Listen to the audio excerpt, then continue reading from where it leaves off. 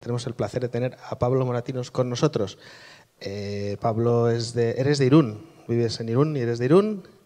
Eh, si no habéis estado nunca en Irún, el 2 de junio tenéis una oportunidad fantástica de ir a una WordCamp que tiene una pinta excepcional y de la que Pablo es el organizador, ¿vale? Eh, bueno, ¿qué puedo decir de Pablo? Yo a Pablo le conocí en noviembre en Chiclana y que hace ocho meses. Parece que le conozco desde hace 15 años.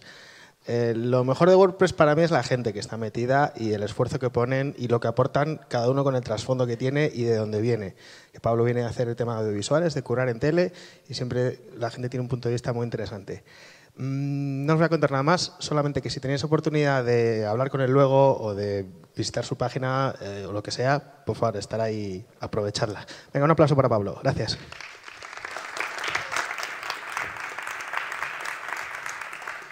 Gracias, Álvaro.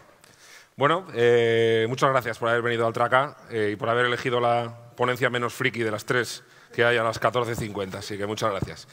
Em, bueno, ya os ha dicho Álvaro, me llamo Pablo Moratino, soy consultor en marketing online. Antes trabajé en el mundo de la tele, en la publicidad, pero ahora me dedico al mundo del marketing online en mi propia empresa, que se llama Tres y Media, que la fundé hace seis añitos, cuando se acabó la historia de la tele. Este soy yo cuando cumplí dos años. Bueno, hoy voy a hablaros de química, pero para hablaros de química eh, y cómo utilizarla eh, para potenciar vuestro negocio, hago un anti-spoiler, no voy a hablar de doping, lo siento, a pesar de que hablemos de química. Cuando yo cumplí dos años, eh, bueno, me empecé a dar cuenta de que mi familia no podía comprar todos los juguetes que yo quería. Yo creo que esto os pasó a todos, ¿verdad? estas frases de no soy el Banco de España, el dinero no crece de los árboles, todo este tipo de cosas.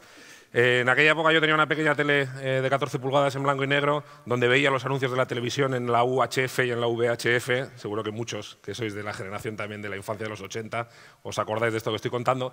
Bueno, pues el caso es que en aquella época ya empecé a trazar algún plan que me permitiera comprar todos esos juguetes que a mí me gustaban, el autobús de Rico, lo recuerdo como si fuera hoy rojo, precioso. Y eh, decidí trazar un plan. Bueno, la primera, el primer input que recibí, seguramente conocéis la historia del rey Midas. No sé si la conocéis eh, con un poco más de profundidad. El rey Midas en realidad es un personaje histórico. Es un rey que hubo en Asia Menor en el año 740 a.C., eh, que era inmensamente rico. Y su historia, de alguna forma, inspiró eh, esta parte de la, de la, mitología griega. El caso es que voy a contar un poquito esta historia, como forma de introducción. Me gusta, me gusta especialmente esta historia.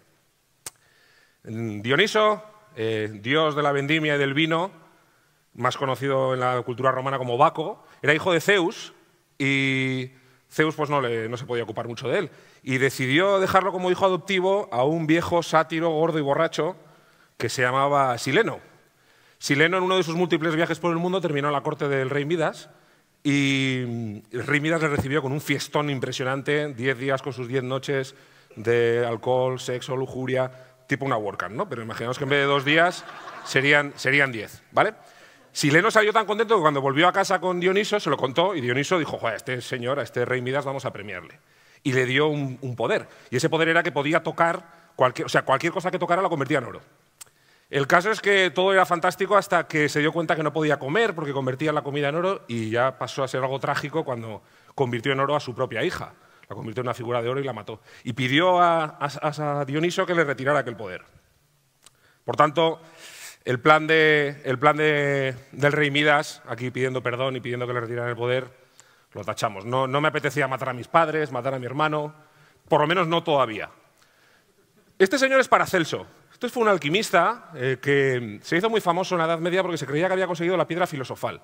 La piedra filosofal es un elemento químico, podríamos llamarlo de alguna manera, mitológico por supuesto, que convierte el plomo en oro. Eh, plan B, tenía buena pinta esto encontrar esa piedra filosofal. Con el tiempo me fui dando cuenta que la alquimia había evolucionado en algo que se llamaba la química, y entonces decidí eh, empezar a, ver qué pasaba con la química, a ver qué era esto exactamente, y cerramos un poco el círculo, conseguí uno de los juguetes que más ilusión me hizo de pequeño, estoy seguro que muchos de vosotros lo tuvisteis, el quimicefa. Fantástico quimicefa. Bueno, el quimicefa me enseñó algunas cosas muy interesantes, como por ejemplo que era una reacción química. La reacción química se da cuando dos o más sustancias al mezclarse dan lugar a otras diferentes. Por ejemplo, la reacción de combustión. A un niño de 7 años la reacción de combustión le flipa, imaginaros, ¿no? Con un mechero que había Bunsen de, con, con, alcohol de quemar que había en el propio quimicefa. En este caso, oxígeno más carbono igual a dióxido de carbono. Perfecto. Todo este proceso que yo llevé con el quimicefa, que me lo pasaba a bomba, todavía conservo algunas cosillas y algunos efectos de lo que provocó, eh, me, dio, me, me hizo pensar que yo de mayor quería ser químico. Hasta que llegué a COU, descubrí un profesor de química que me hizo abandonar esta idea y decidí que a partir de ese momento iba a trabajar con otra cosa y empecé a trabajar con WordPress. Pero no quiero perder la ocasión de comportarme como un químico de verdad.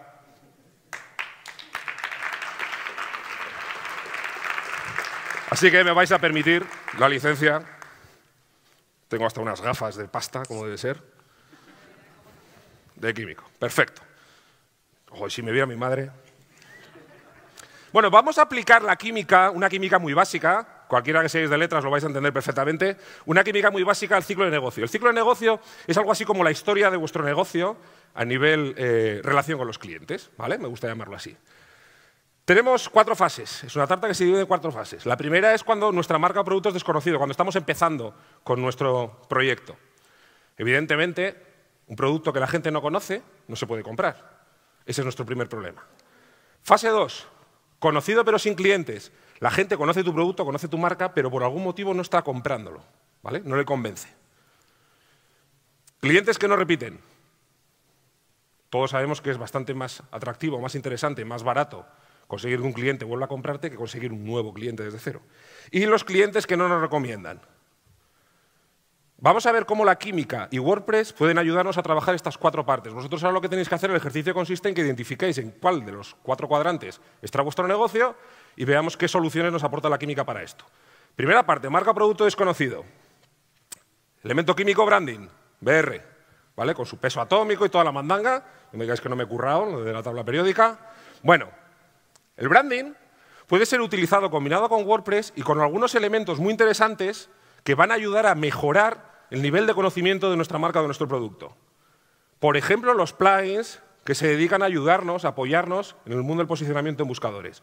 Una marca bien posicionada en Internet es una marca que tiene más probabilidades de conocerse. Tenemos que poner las cosas fáciles, que la gente pueda encontrar, sobre todo que cuando estén buscando un servicio o un producto como el nuestro, aparezca nuestra marca como respuesta. Os he puesto aquí tres recomendaciones. Dos son plugins que ayudan en la gestión del posicionamiento. No veo nada con las gafas, perdón. Y el tercero, AMP for WordPress, seguramente lo habéis visto en alguna de las otras ponencias, han estado hablando de un plugin que nos ayuda a que nuestra, la versión para dispositivos móviles de nuestras páginas web carguen más rápidamente. Todo esto va a mejorar nuestro posicionamiento y va a, hacer, va a mejorar la encontrabilidad de nuestra marca, por tanto, las posibilidades de ser conocidos. Por otra parte, evidentemente, para dar a conocer a una, a una marca, y esto ya es muy viejuno, la red de display de AdWords para banners. Ya sé que esto da un poquito como para atrás, es algo como que es muy antiguo, pero sigue siendo una de las mejores marcas que existen, una de las mejores maneras que existen, perdón, para dar a conocer una marca que nadie conoce. Ya sé que es publicidad a peso, publicidad en bruto, pero sigue funcionando. No lo descartemos en principio. Y por supuesto las redes sociales, una de las mejores maneras para dar a conocer nuestra marca. Plugins como Monarch, no sé si lo conocéis, es un plugin bastante conocido de la gente de Elegant Themes, la gente que hace Divi. Pues Monarch es un plugin muy ligero que sirve para eh, tanto compartir contenido en las redes sociales como para que la gente siga nuestra marca en redes sociales colocando, eh, trabajando con ese plugin en, nuestro, en nuestra web. Y luego algunos plugins que son bastante divertidos como Better Click to Tweet, que lo que hace es convertir una parte del texto de tu entrada en, un botón clicable que permite lanzar un tweet de manera automática. Se lo estás poniendo a huevo al usuario, está escribiendo el tweet que tú querrías. ¿vale? Una facilidad más. Muchas veces eh, no tuiteamos algo simplemente porque no es rápido de hacer, ¿vale? y más cuando estamos trabajando desde el móvil. Vamos a trabajar en la fase 2. La gente conoce mi marca, pero por algún motivo no compra mi producto. Y esto es chungo, porque aquí la primera respuesta suele ser que tu producto no merece la pena. La química y WordPress no nos pueden ayudar en esta parte, ¿vale? Pero supongamos que no es porque tu producto no merece la pena. Vamos a trabajar con el elemento químico conversión, CN. Hay que trabajar en la mejora, en la optimización de la conversión. ¿Cómo? Pues de nuevo, con otros elementos que nos van a ayudar, que trabajan combinados con WordPress. Plugins que ayudan a mejorar la usabilidad. La usabilidad es algo que nunca deberíamos utilizar eh, plugins para mejorarlo. Es simplemente un problema estructural, es un problema que debemos plantearnos a la hora de crear el diseño y el contenido. ¿vale? Pero a veces ayudan, por ejemplo, herramientas como eh, Nelio A-B Testing, una herramienta estupenda para hacer test A-B en vuestra página web. Podéis probar dos versiones distintas de la página web, a cada usuario que entra en la misma mostrarle una versión, la A o la B, y después estudiar estadísticamente cuál es la versión que mejor ratio de conversión tiene, cuál es la versión que más vende. ¿vale? Con esos datos podemos ir optimizando, mejorando nuestra web poco a poco, haciendo sucesivos test. No quiero vender humo con esto. Para tener una página web en la que hagamos test A-B se requiere mucho tráfico. Mucho tráfico y mucho tiempo. Para un proyecto que empieza es difícil trabajar con los plugins de, perdón, con los test A-B. Lo digo porque mucha gente cree que tengo un blog pequeñito, pongo un test A-B, sí, pero es que igual la prueba tiene que durar dos años, porque tienes muy poco tráfico. Contact for Seven, un plugin estupendo para hacer formularios de contacto, que es la forma de facilitar que la gente se ponga en contacto contigo. Que igual que WhatsApp Me, sirve para que la gente te pregunte cosas porque tiene dudas a la hora de comprar. Vamos a intentar eh, poner el mínimo de barreras posibles. Optimización. Pues si queréis, WPO, optimización de la velocidad de carga, eh, imágenes comprimidas, que es para lo que utilizamos Smashit, que permite eh, comprimir las imágenes que estamos subiendo a nuestra web para que carguen más rápido, eh, mejoras WPO de nuestro querido Fernando Tellado, un plugin que no sabes lo que hace, tú lo instalas, no tiene ningún botón, no tiene nada, pero le parece que la web va algo más rápido. ¿vale? No son más que una serie de funciones que él utiliza con sus clientes y que las tiene puestas en un plugin para que no tengas que ponerlas en el functions, en el functions PHP. Autotimize, nos sirve para inyectar y comprimir CSS, scripts. Bueno, son plugins que en una fase inicial no sabemos muy bien lo que hacen, pero la verdad es que la página va más rápido. Y por supuesto la parte de analítica, y esto es clave. La analítica es fundamental, porque la analítica nos ayuda a identificar cuáles son precisamente esas partes que están rozando en la relación con nuestros clientes, que están produciendo una fricción. Eliminar esa fricción es optimizar la conversión siempre. La analítica nos va a servir a identificar precisamente esos puntos de fricción. Por ejemplo, Google Analytics for WordPress por Monster Insights, un plugin súper pesado para instalar los códigos de seguimiento de Analytics, pero si no sabéis hacerlo, uno de los mejores, porque os va a permitir hacer seguimiento de e-commerce, os va a permitir tener un, escritorio con las gráficas de, los datos sin tener que ir a, vuestra cuenta de Analytics. Y Duracell Tomis, que no sé si lo conocéis, pero para los que estén un poco más metidos en el mundo de la analítica, nos permite eh, gestionar los contenedores de Google Tag Manager. Eso es una pasada. Los contenedores de Vuelta Manager son impresionantes porque permiten eh, meter códigos de seguimiento en vuestra página web desde la cuenta que tengáis en Tag Manager, no teniendo que entrar en la web, no teniendo que decirle al programador que meta un nuevo código. Tercera fase, clientes que no repiten. Pues evidentemente trabajar la fidelización, la fidelidad de nuestro cliente.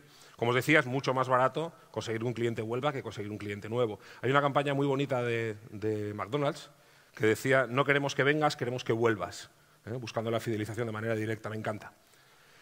¿Qué podemos hacer con el tema de la fidelización? Pues por supuesto el email marketing, que sigue siendo una de las mejores formas de recordar a nuestros clientes que estamos ahí. Por favor, hacerlo bien, no seáis pesados, no seáis spammers. Vamos a respetar a lo, todos los, la gente que la tenemos suscrita a nuestros formularios de correo, ¿vale? Es muy importante respetarles.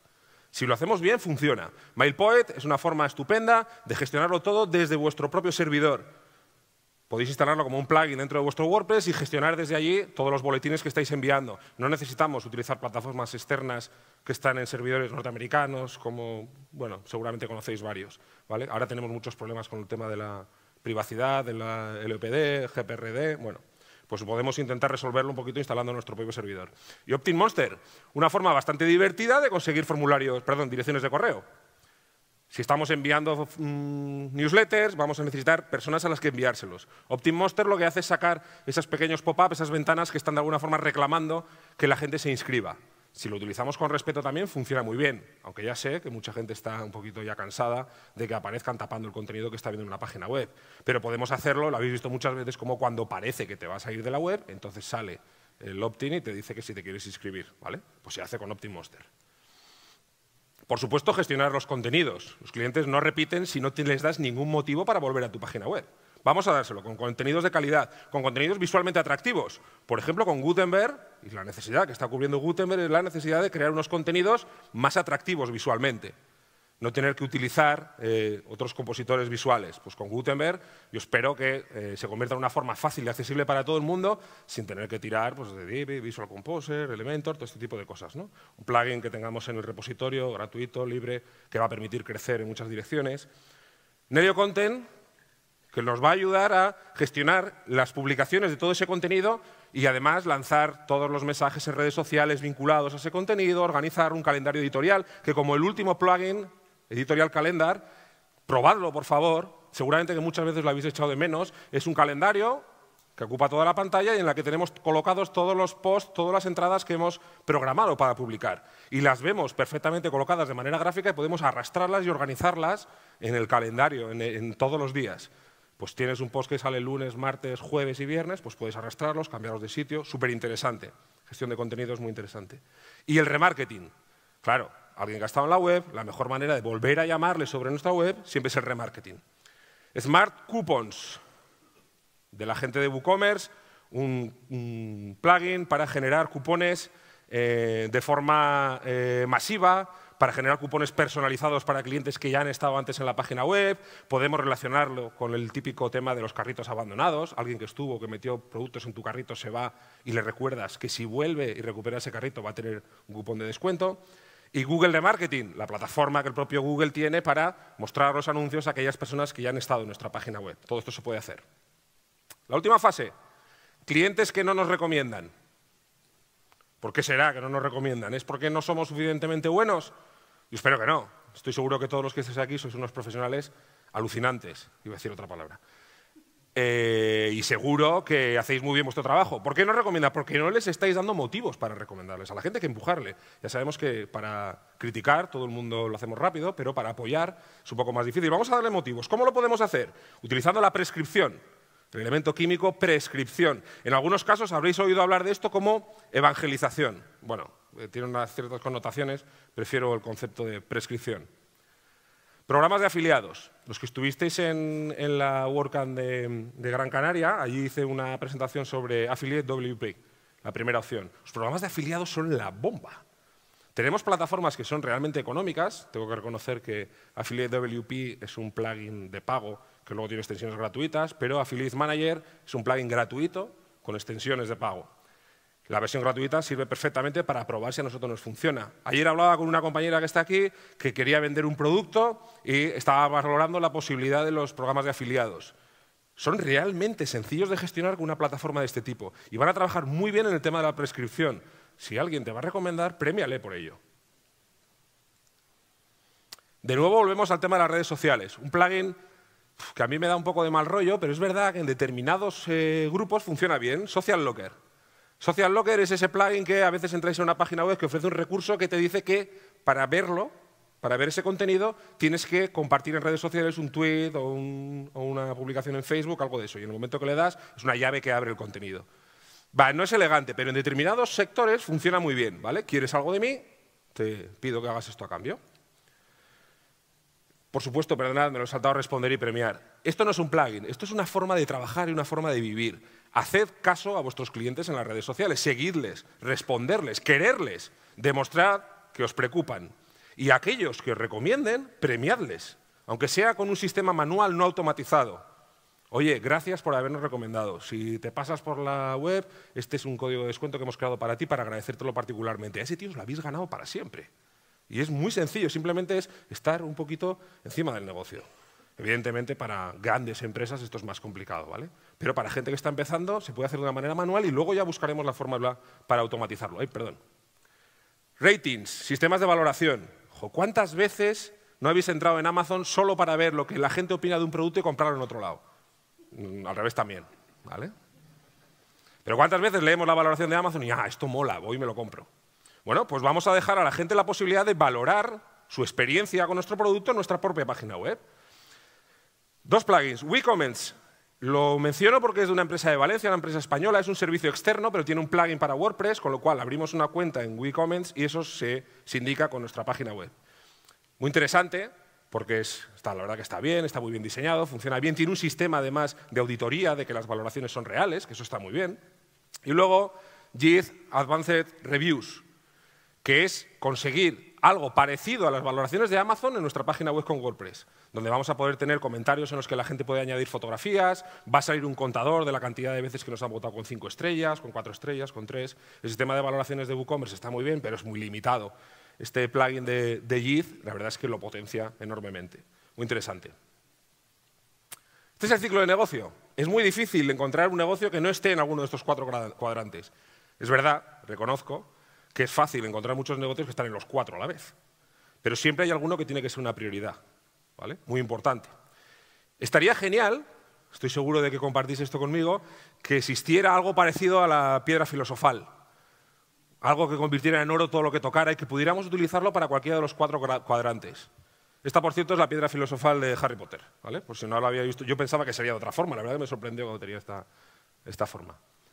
Y después de años de investigación, años de trabajo, mucha experiencia, muchos errores, eh, Paracelso me pasó la información y le he descubierto cuál es la piedra filosofal. Y la voy a compartir con todos vosotros en exclusiva. Nunca la he contado. Marketing de contenidos. Esto es lo único que funciona en las cuatro fases. Ya me imagino, no, no aplaudís, me imagino que es que esperabais que fuera algo así, no he descubierto nada, lo siento. Es verdad, no hay secretos. No hay secretos, lo siento. Simplemente es hacer bien el trabajo y generar un contenido que haga que la gente le merezca la pena venir hasta nuestra página web. Fijaros, tienen un montón de cosas súper atractivas en las redes sociales que hacen que no tengan que venir a mi página web para nada. Tengo que ofrecerles algo que sea inigualable. Tengo que darles contenidos de calidad. No me valen artículos de 350 palabras generados porque Joe dice que necesitamos meter más palabras. No, eso no vale de nada. Generar algo que la gente aprecie. Dad valor y recibiréis valor de vuelta. Tenemos lo único que es imprescindible, una web con WordPress, un blog en el que podemos escribir, aportar contenido de calidad y ayudar a nuestros usuarios. Os animo a dar ese primer paso. ¿Vale? Nada más. Muchas gracias.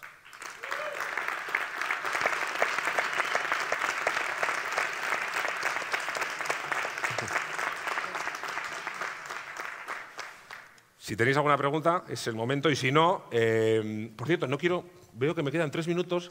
Eh, voy a invitaros a dos cosillas, ahora que, viene, que venía Álvaro. Eh, si queréis charlar de lo que sea, tenéis este rato de las ponencias y si no, luego en la after party con unas cervecitas y tal, genial, encantado de charlar con vosotros. Pero os invito, no quiero que se pase, soy súper amante de la comunidad, a venir mañana, por favor, al Contributor Day. Estoy seguro que muchos de aquí no vais a venir, os perseguiré para siempre. Mm, me he quedado con vuestra cara. ¿Vale? Os he hecho una foto antes de empezar para mañana tachar caras. Entonces, venid por favor mañana porque vais a aprender muchísimo cómo trabajar con WordPress, vais a conocer a gente maravillosa, vais a conocer a muchos de los ponentes, yo no porque soy purria, pero hay muchos ponentes que son muy buenos, que están encantados de charlar mañana con vosotros. ¿vale? Por favor, venid y participar de WordPress. Vosotros sois WordPress. ¿Vale? Venga.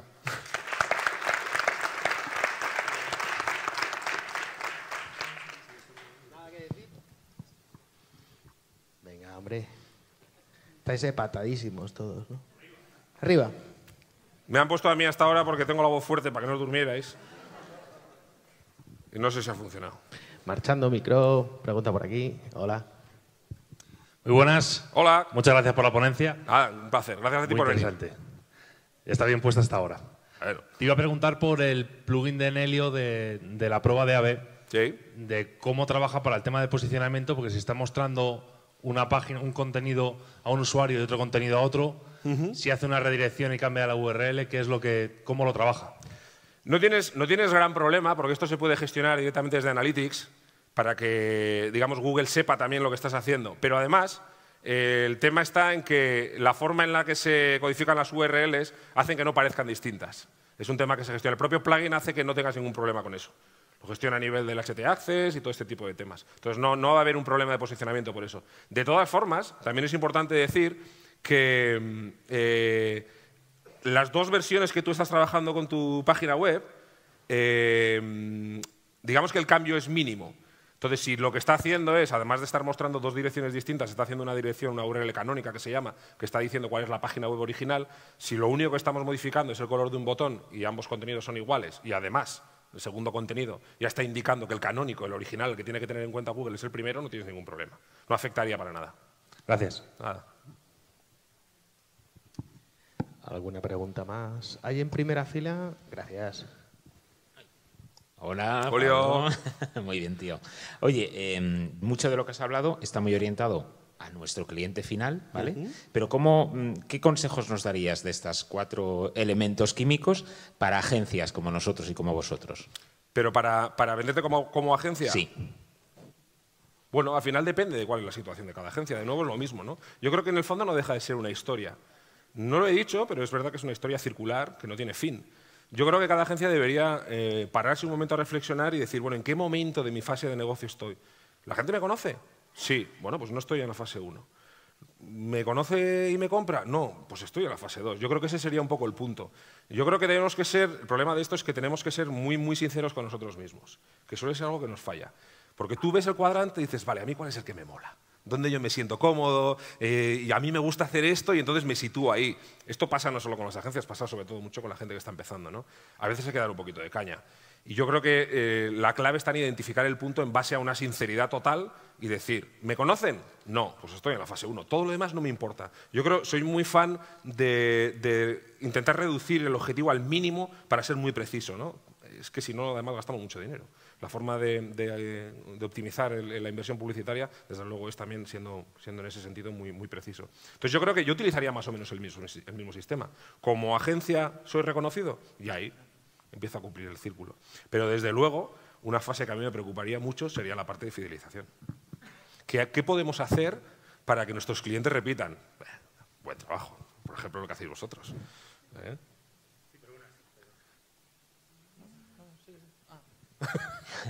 No, pero así como, por ejemplo, una tienda online, ¿no? Sí. Tiene más sentido que les estés enviando email y si estés haciendo un nurturing, ¿no? Un- nutrir Sí, a eso. sí. En el caso de una agencia, una vez que ya has dado el producto, quizás es que no lo hacemos bien, ¿no? Pero no sabemos muy bien qué tipo de cosas hacer con el cliente que ya está en su mundo, que ya está en su historia y que no quiere casi saber nada más de la página una vez que la ha hecho, ¿no? En cierto modo.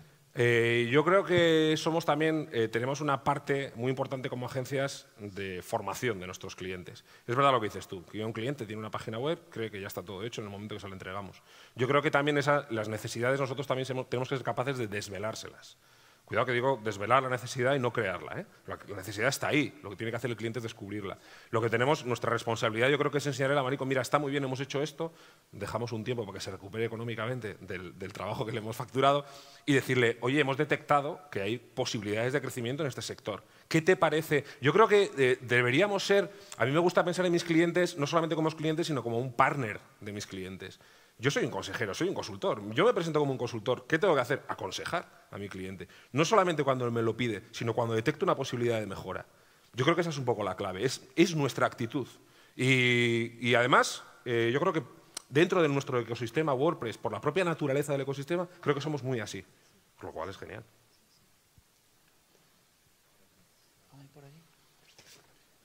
Eh,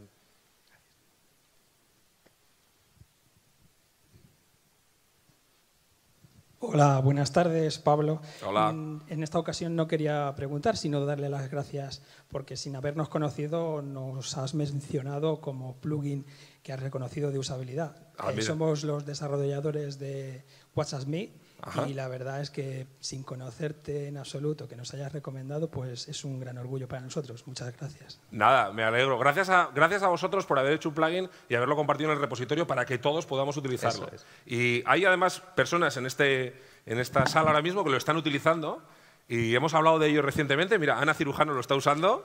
Muchas gracias. Gracias a, De gracias hecho, a todos los hoy, desarrolladores. Hoy hemos superado las 3.000 eh, instalaciones ya y desde luego para nosotros pues era algo que era imprescindible. Y bueno, eh, nos, des- nos encargamos de desarrollar comercio electrónico y vimos que, que era lo que necesitaba muchos usuarios, el poder fidelizar y desde luego que terminaran esas conversaciones en conversión. Claro Así que sí. que muchísimas gracias. A vosotros, de verdad. Muchas gracias a vosotros. una última rápida sí, para hacer el cambio. Eh, si, si no hay ninguna, yo mismo querría hacer una. ¡Hombre! Eh, bueno, eh, enhorabuena porque me ha encantado la charla y también a ti porque, porque el plugin, el primer día que lo utilicé, ya me generó ingresos desde el primer día porque, Genial, genial. porque bueno, ayuda, la gente tiene una duda, lo que tú decías, y, y se la resuelves casi en el momento. Y, Cuidado también, ¿eh? que esto tiene un peligro. Tiene más Bueno. peligro que una caja bombas. Y lo que te quería preguntar es de los plugins de afiliación que has puesto, Sí. eh, uno de pago con add-ons gratuitos y el otro gratuito tal, ¿recomiendas alguno de los dos o Para mí, en mi experiencia, yo he probado los dos, Affiliate WP es, es el más interesante, es el más potente, permite hacer cosas eh, más avanzadas. Digamos que Affiliate WP tiene una barrera de entrada que es un plugin, con una, tiene un precio, pues bueno, eh, tiene un precio importante, no es mucho dinero, teniendo en cuenta que sirve para generar ingresos directamente, pero tiene un precio importante y entonces a la gente le tiene un poquito el problema de- probarlo.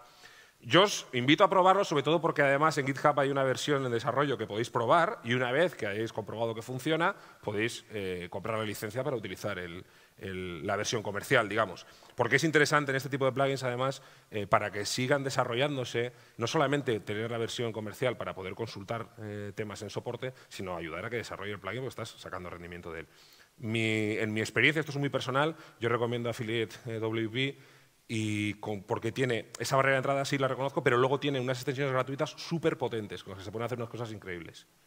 Yo, yo os invitaría a empezar por ahí, y bueno, luego si queréis saltar al otro para probarlo. Sí, ese es el que uso, pero era por saber si recomendabas el otro, decir, No. pues cambiarme. No, el otro está muy bien también, ¿eh? pero me parece que Affiliate WP es más completo. Gracias. Nada, tío.